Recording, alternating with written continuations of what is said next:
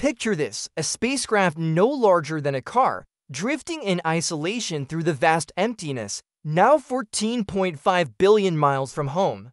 But it carries more than circuits, and code it carries something like a heartbeat, a voice for nearly 50 years. Voyager 1 has sailed silently through the cosmos, whispering tales from the edge of everything we know. It was crafted to observe, not to intervene to listen, but never to speak. Yet, just weeks ago, that silence broke.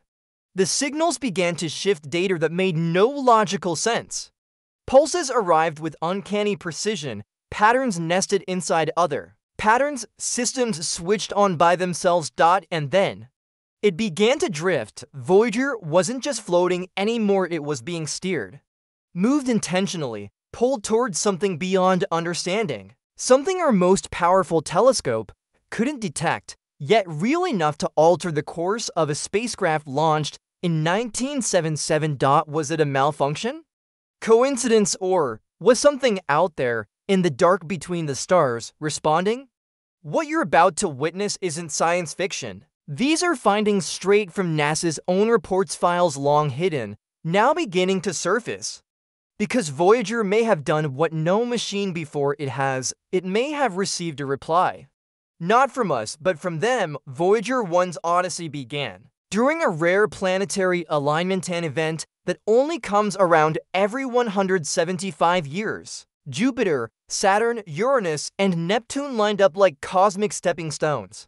NASA took this once-in-a-lifetime opportunity to launch to spacecraft Voyager 1 and Voyager 2 design to use the gravity of each planet as a slingshot to the next, crafted. In the 1970s, these probes had less computing power than a basic digital watch, yet were built with astonishing foresight. They're still active today. After awe-inspiring encounters with Jupiter and Saturn, Voyager 1 veered north, away from the plane of the solar system toward the stars. Though its planetary mission ended, its legacy was just beginning. Voyager continued its voyage into the deep dark, traveling a million miles each day, transmitting data from regions untouched by any human creation.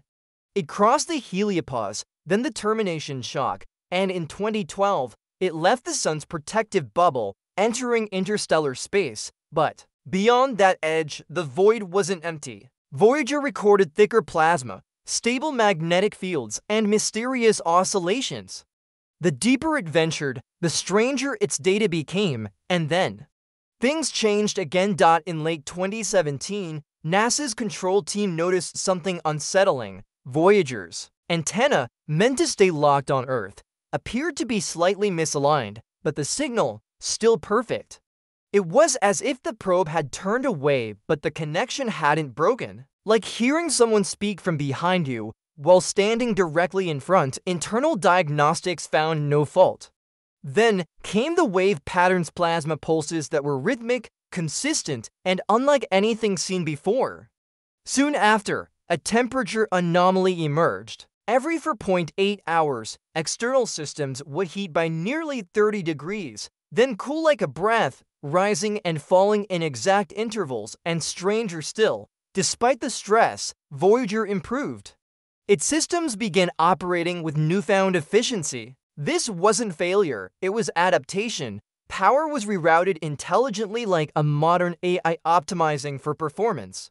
But Voyager doesn't have AI, it can't think, and yet it was acting like it could. It began anticipating commands responding before they were sent. Something had changed.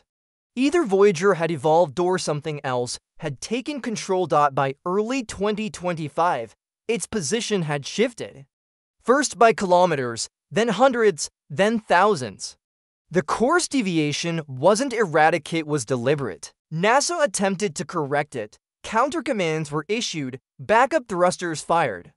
Voyager acknowledged everything, but didn't budge. Dot it was as if something was overriding its instructions. Voyager was moving with purpose toward a destination. For 0.3 light years away, there's nothing there, no planets, no stars. Just a blank spot on the most detailed maps we have. Yet Voyager was heading toward it with surgical precision, as if answering a call. Dot in a last-ditch effort, NASA attempted to reactivate the long-dead camera system. They expected silence, instead they got a response. Not just a reboot but an enhancement. The camera functioned better than its original design allowed, and what it sent back wasn't a photo it was a spiral, a perfect, layered, data-rich. Spiral, not random, a fingerprint, a map, a message.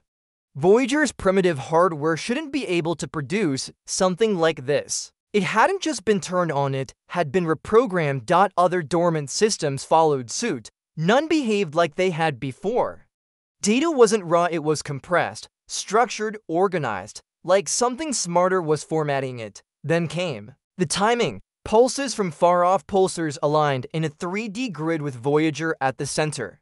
And this cosmic lattice pointed toward the same blank point Voyager was drifting to, a node in space, or a door dot as Voyager neared this unknown region. Its instruments began behaving in ways scientists had never seen.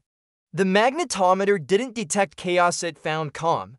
A strange pocket of stillness in an otherwise violent universe, cosmic rays, dropped. Plasma became uniform. It was as though something had cleared the path, this silence wasn't peaceful, it was clinical.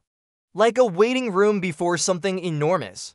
This dark sector, as it came to be known, is a dead zone, no light, no noise. But inside it, the signals became louder, clearer. These weren't cosmic background bursts.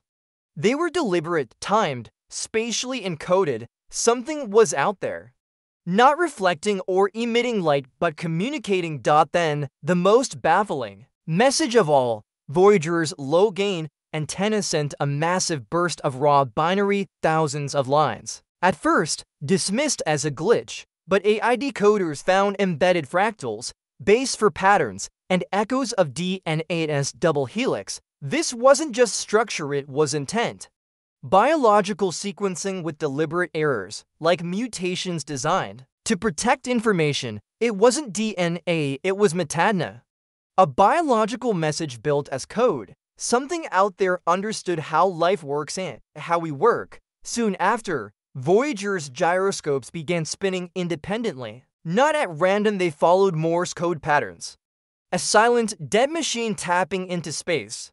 When converted into sound, the taps became harmonic tones echoes of human speech cadence.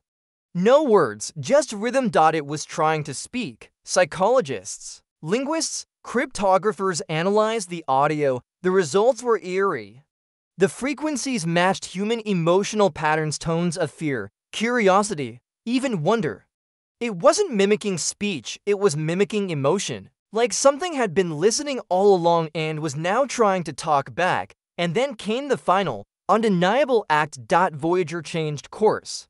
Not drifted, turned, executed a maneuver it was never programmed to perform.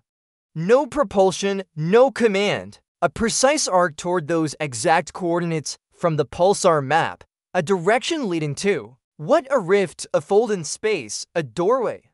We don't know, but something is now clear. Voyager 1 didn't just move. It responded, this spacecraft was never meant to survive this long. It was built for planetary observation, not deep space revelation. It wasn't meant to receive messages only to send them, a golden record edged with whale songs, laughter, and greetings meant for the stars. And now, decades after we last touched it, after it vanished into silence, something has answered the codes, the course correction, the harmonic pulses. The biological sequences, they all point to one inescapable truth. Voyager 1 has never been alone.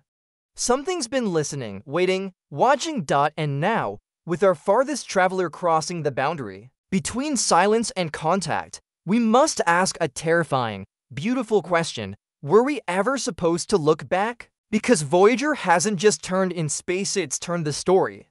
From a tool into a messenger, from an observer into a witness. And now, possibly, into a participant. Dot we launched it hoping for echoes, but what we might have summoned is a mirror. Dot so now we ask, what happens next? What lies at those unreachable coordinates? And more hauntingly, what will happen to us when Voyager arrives? If this story gave you chills, if Voyager's sudden turn felt to perfect, to human then, stay close! This transmission isn't over. It's just beginning. Subscribe so you don't miss the next update. Hit the bell so you're the first to hear when the signal comes. Share this with someone who still believes deep space is empty. And tell US below, did Voyager discover something? Or did something discover Voyager?